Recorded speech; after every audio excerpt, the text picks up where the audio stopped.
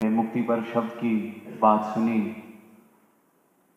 तो अक्सर संगतों में ये सुना कि इसको दिवस नहीं कहा गया, मुक्ति दिवस।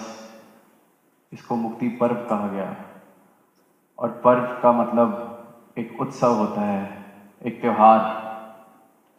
मुक्ति parv translates to parv translates to a festival a celebration तो ये चिताया गया कि ये जो जीवन मिला है, ये वाकई एक उत्सव बन सकता है। ये वाकई एक त्योहार की तरह जिया जा सकता है।